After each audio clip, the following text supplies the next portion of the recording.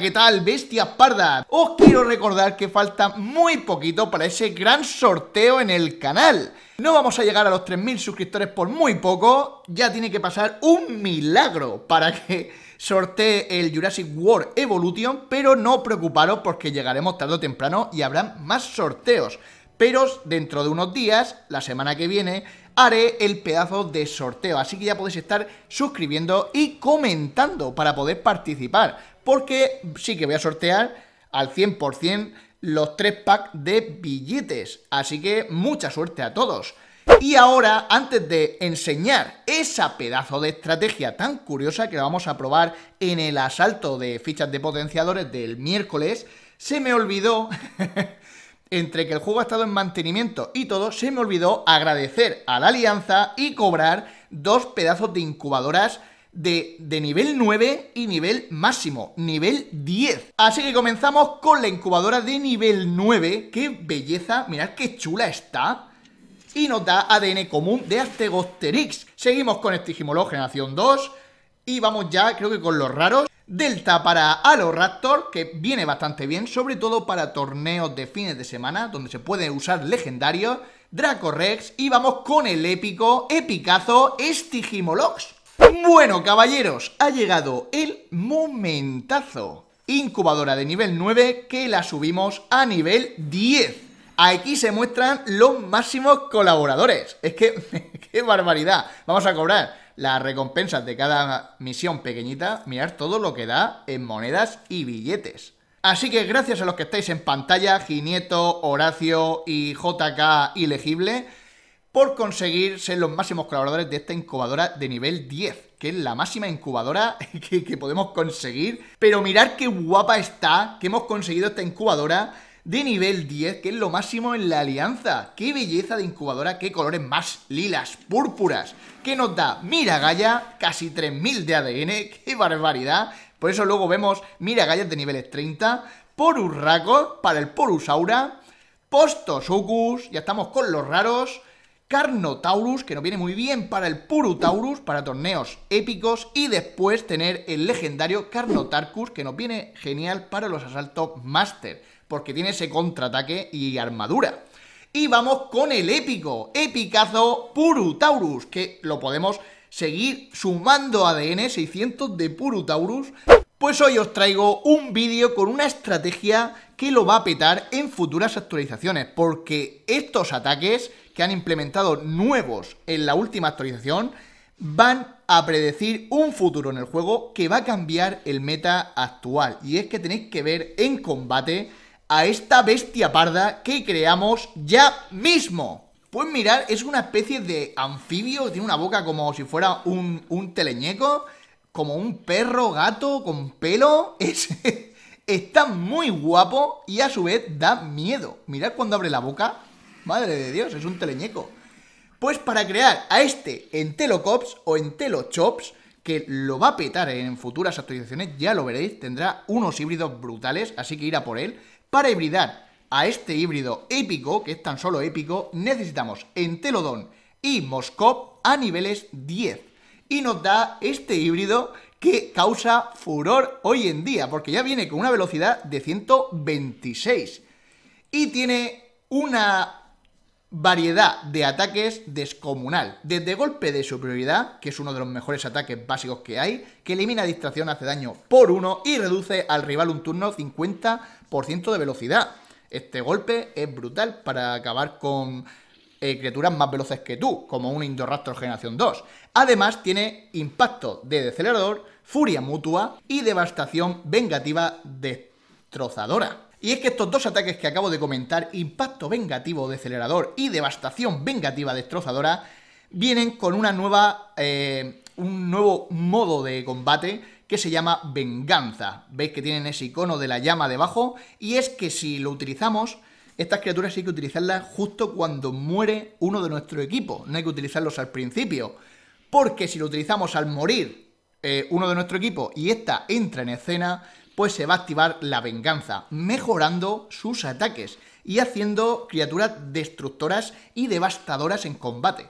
Por ejemplo, el impacto vengativo de acelerador, que de por sí, si entra normal y no se activa la venganza, lo que haría es daño 1,5 y restar la velocidad un 50%. Pero si entra con venganza porque ha muerto un compañero, entra cabreado y lo que hace es restar la misma velocidad un 50% durante dos turnos, pero hace daño por 2.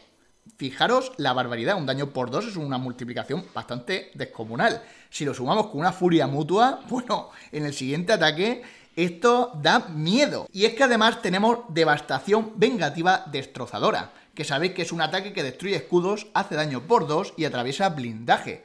Pero tiene un retraso de 1, o sea que no lo podemos utilizar todos los turnos. Un turno sí, un turno no.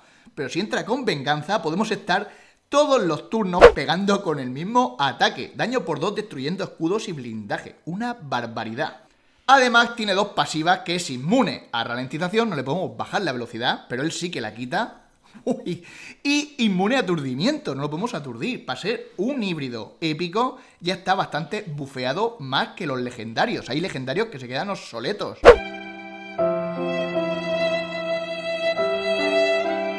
si nos vamos a la Jurassic World Alive Field Guide, donde nos dice todos los datos de todos los híbridos y dinosaurios, podemos verlo que a nivel 30 nos viene con una salud máxima de 5105, la velocidad de 126 y una armadura del 20%, que ya de por sí aguanta bastantes impactos. Y el daño de 1337, que siempre estaría pegando de él por 2 si entra con venganza, que serían unos 2700 sin crítico. Tiene una probabilidad de crítico del 5% y todavía no está catalogado en un tier. Aún no hay votación, pero ya os digo que este se pondrá de Apex para arriba, si no lo ponen más. Y cuando tenga un híbrido, será descomunal. Yo os recomiendo dejarlo en nivel 15 de momento, por si meten un híbrido en la siguiente actualización. Pero si lo veis muy bueno, caso como la Carbonemis, que es un épico y no, no es híbrido, por ejemplo, sí que os recomiendo subirlo, porque en torneos de fines de semana que nos piden épicos, este entra en el equipo sí o sí. Y es que sé que hay muchos más, pero este sería el equipo fiable al 100%, el mejor equipo de épicos para torneos de los fines de semana. Sobre todo, la estrella, el Cristiano Ronaldo, el Messi del equipo, es el, el Entelocops, porque él está en el banquillo está esperando el momento de que uno de sus compañeros caiga en el, terreno de juego y este cuando entra, entra con venganza en dos habilidades. Y por el caso que ya tiene 126 velocidad, si en el caso no tuviera velocidad, si contamos que tiene armadura, os recomiendo usar Furia Mutua, porque en el siguiente ataque vais a hacer el golpe por 2 más la Furia Mutua que os aumenta el daño un 50%. O sea, vaya barbaridad de combo que se puede montar el cabronazo este. Así que vamos a probarlo más o menos en un equipo del mismo nivel. Y además muy tanques con mucha salud en este asalto de golpe de defensa, en el que vamos a conseguir 25 fichas de defensa. Que os recomiendo que lo hagáis. Y ahora después lo vamos a probar en, en, la prueba de habilidad que hay de la semana, que es mucho más difícil, con niveles 20 y en Milocefalosaurus. Mirad, aquí tenemos el Entelocops con esa, con esa llamarada abajo apagada. Solo se activará en el momento que muera uno de nuestros compañeros. Vamos a empezar con el Lico Gamma, que el combo es que se puede intercambiar automáticamente. Así que vamos a intentar hacer mucho daño de principio, ya que tenemos más velocidad. Y en el siguiente golpe, si sobrevivimos, porque mm, el Brachiosaurus tiene devastación por 2. Si sobrevivimos, eh, aunque nos quiere restar velocidad seguramente, podemos sumarnos nosotros también velocidad. Eh, si sobrevivimos, usaríamos eh, devastación y huida, que hacemos daño por dos y nos intercambiamos con el siguiente, ahorrándonos un turno. Quizás nos interese la distracción debilitante para que no nos meta un meque muy gordo, porque el Brachiosaurus mm, también es muy decente para usar en torneos épicos porque hacen mucho daño. Si tiene mucha salud, mirad lo que mete de por sí, con un golpe de superioridad. Nos ha quitado la velocidad. No sé si aguantaremos el siguiente, el siguiente embiste, pero vamos a intentar hacer la devastación y huida. Creo que nos va a matar. Vaya pedazo bicho, el Brachiosaurus. Pero nos da igual porque han muerto y aquí utilizamos esa estrategia. Se acaba de activar la venganza, como el motorista fantasma. Entra en llamas, está ardiendo está en llamas, está caliente. Dale sabor latino.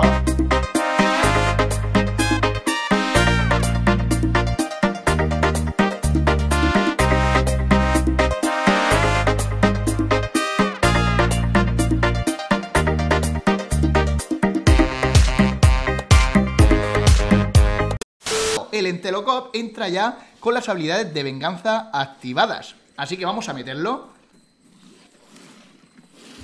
Además que, me da miedo, tiene pelusas, no tiene ni plumas ni pelo. Mirad cómo arde, arde en furia. Y ahora pues, para evitar que nos reste velocidad con un bramido, nos interesaría usar el impacto vengativo. Si fuera otro caso, que fuera más rápido todavía, el rival, si fuera más rápido, usaríamos furia mutua, aguantando el primer impacto y en el siguiente reventando. También sería una opción.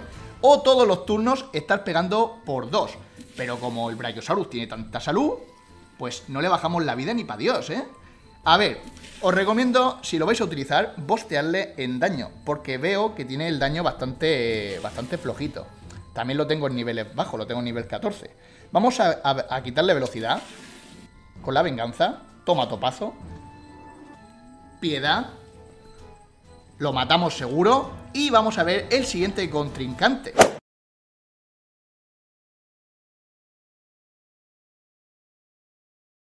Está en llamas, está caliente. ¡Dale sabor latino!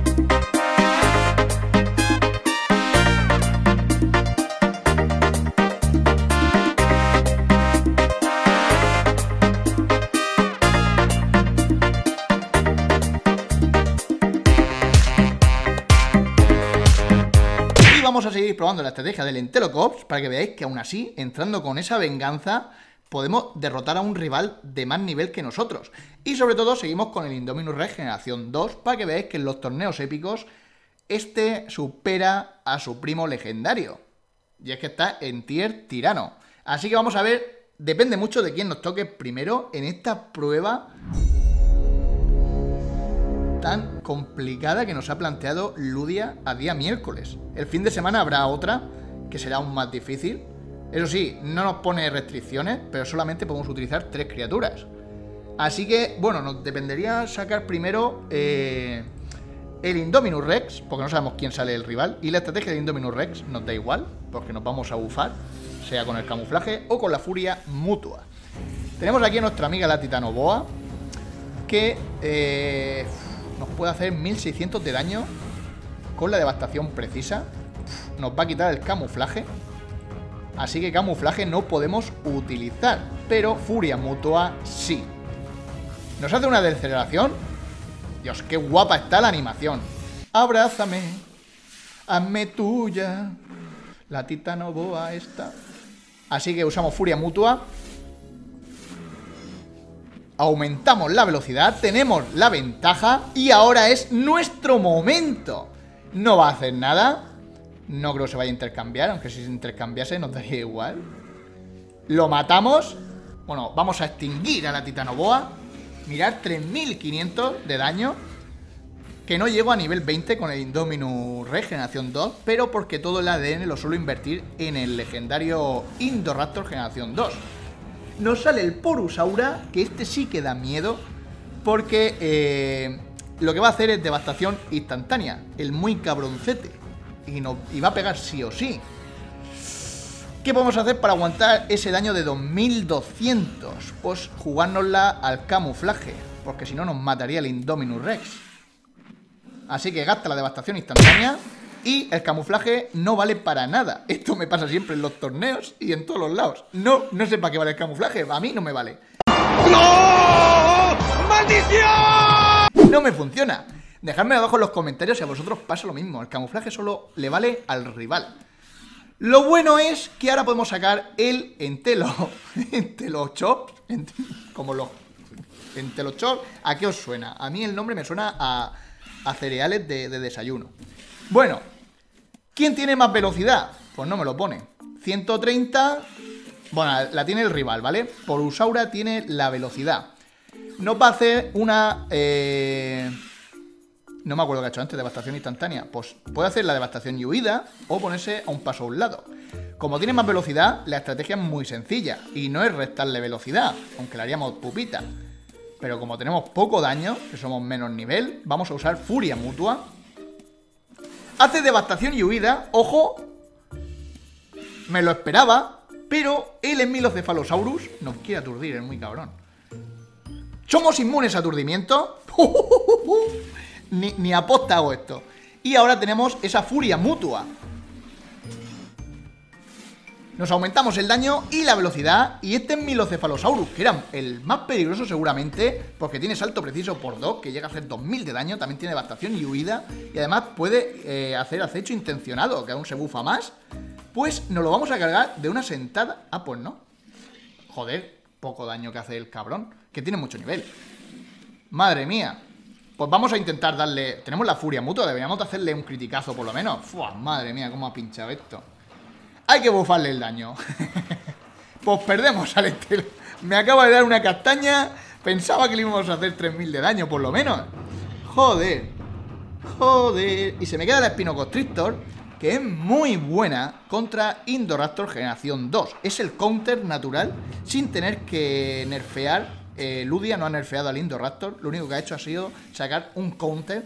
Y este counter tiene nombre y se llama Spinoconstrictor.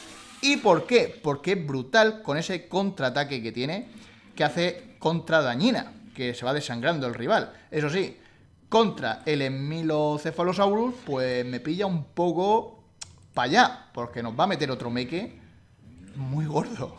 Tenemos que esquivar. Vamos a intentar esquivar. Por favor, es que si no me. Si el paso a un lado no me funciona tampoco, ya es que me, me voy, ¿eh? Tenemos que esquivar y hacemos contra dañina y se envenena. Pero él también se pone a esquivar. Ya ves tú por qué. Pero nos da igual, porque la Espino Constrictor tiene dos ataques. Bueno, todos sus ataques son para que el Indoraptor Generación 2 se muera. Tiene la contradañina, que es el, el, ataque pasivo, que contraatacamos y desangramos al rival un 33% durante un turno, que nos viene muy bien para debilitar ese Indoraptor Generación 2 con esquive y todo. Y por si se pusiera a esquivar, pues tenemos esta devastación precisa. Así que no nos la vamos a jugar. Vamos a darle devastación precisa y matamos con dos bocados al Emilocephalosaurus, la verdad, Emilocephalosaurus, esquivando, ¿eh? Ojo, la devastación precisa es muy buena, la tenga quien la tenga. Nos queda el Polusaura que nos la va a jugar. Es que es muy cabrón, porque ahora sale y nos va a hacer una devastación instantánea, así por la cara, y nos vamos a quedar con cara de tonto. No nos queda otra que esquivar de nuevo. Aunque ya no sé si esté esquivando, creo que ya no se me había agotado, sí. Ya no teníamos esquive, solo teníamos velocidad. No nos hace la devastación. Es más listo que nosotros. Nos ha hecho, nos ha restado velocidad. Maldito Polusaura. Vamos a ver si desangrándolo podemos ganar. Pero nos la jugamos un poco al azar y de, poder esquivar. Es que no, nos queda otra. Esto esquivamos solo un turno. El gato. Mm, aumenta la velocidad. Pues vamos a intentar esquivar. ¡Ah! Ah, vale, me ha asustado. Pensaba que iba a hacer devastación. ¿Por qué no la hace? Menos mal, me está perdonando la vida. Si lo se le pegó. Hostia, si hace la devastación nos hubiese matado nos hubiese matado. Nos la va a hacer ahora. Nos la va a hacer ahora. Ahora que tenemos la velocidad, la máquina lo tiene programado. Y nos lo hace ahora. Os lo juro. Nos lo hace ahora. No lo matamos. Si sobrevivimos y lo desangramos con este golpe, lo matamos. Y con este... 20 más 3. No lo matamos porque le quitaríamos la mitad. No la tenemos que jugar. ¡Ay! ¡Ay! ¡Ay! Que esquivo otra vez. Se ha rayado. Pues tenemos devastación precisa. Hemos ganado. No. No hemos ganado aún. ¿Se suma velocidad? ¿Por qué esquivas tanto? Estás poniendo nervioso. Como no, no ataca, pues no utilizamos el contraataque de sangrado. ¡Qué cabronazo! ¡Uy! ¿Tenemos que esquivar? Otra vez, se ha rayado. Perdido. Me está dejando ganar. Es que seguro que cuando le dé al ataque de pegar me hace la devastación y me, y me revienta. Venga, pues nada, vamos a pegarle. Hago el desangrado. Vamos, vamos a usar el desangrado porque la animación mola muchísimo. Seguro que ahora me muero.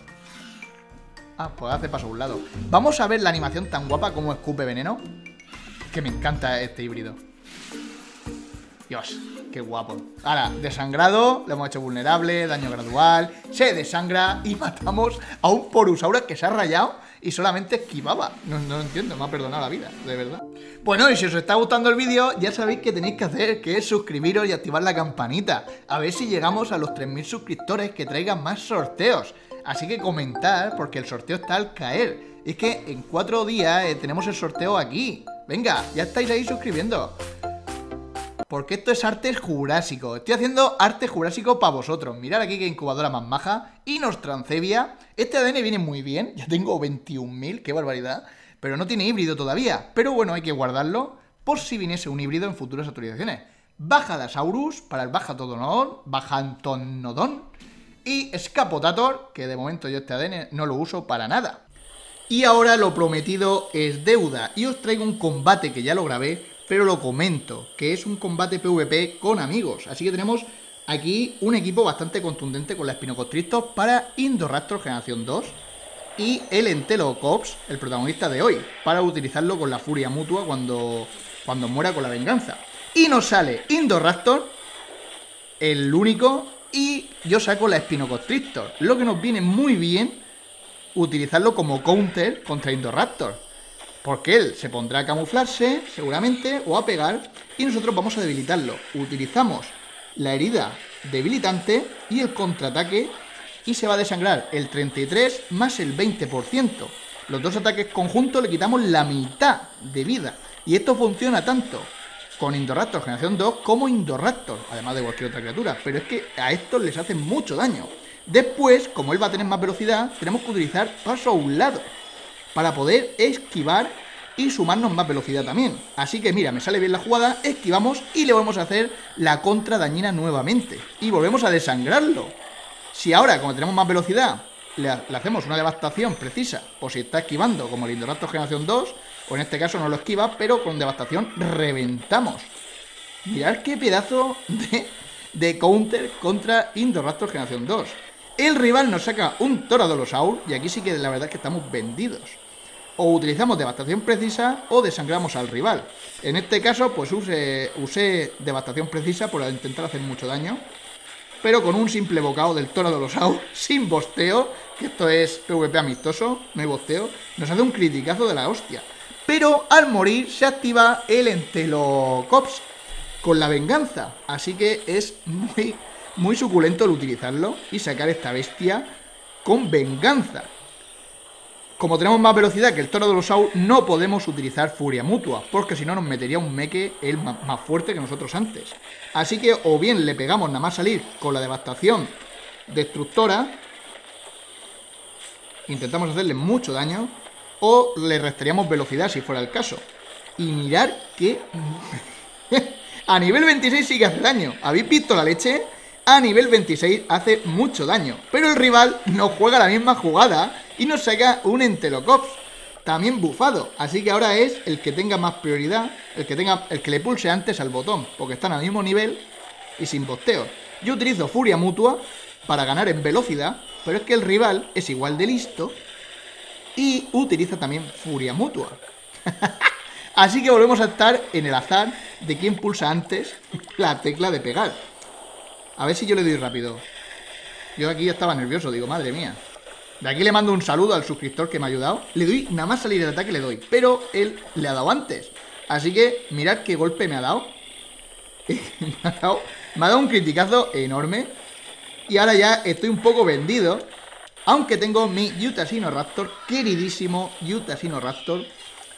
Pero aquí tiene las de perder. Porque estamos con un híbrido ya antiguo, el Utah Raptor de los primeros híbridos del juego.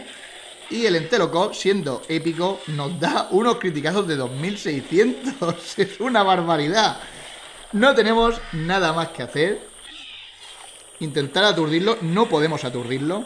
Pero aún así podíamos pegarle antes para intentar matarlo. En este caso, ¿qué hago? Se me va la cabeza. Para no morir, porque si no perdería, saco al Dracocerator e intentar hacerle algo de daño.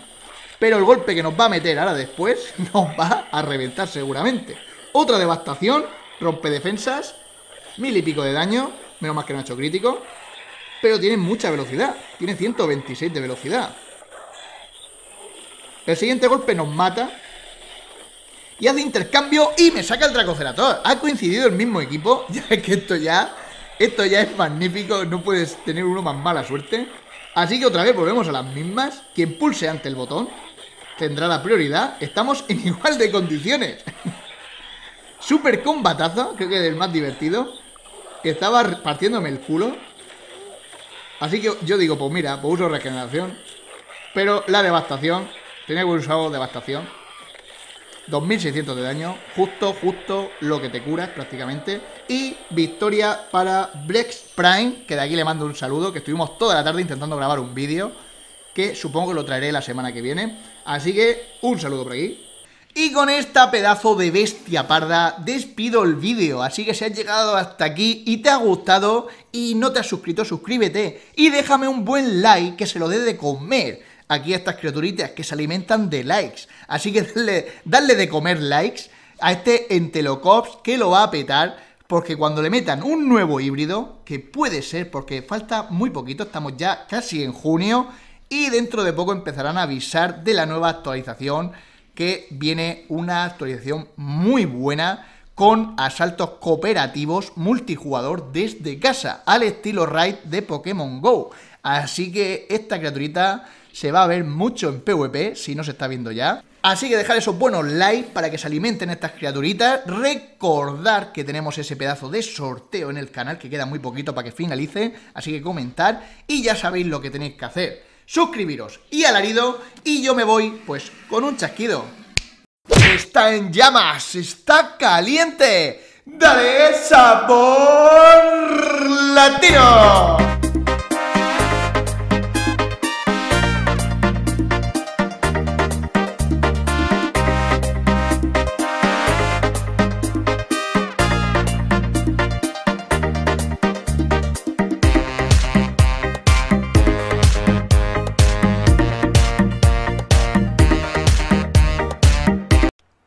Suscrito? ¡Suscríbete ya!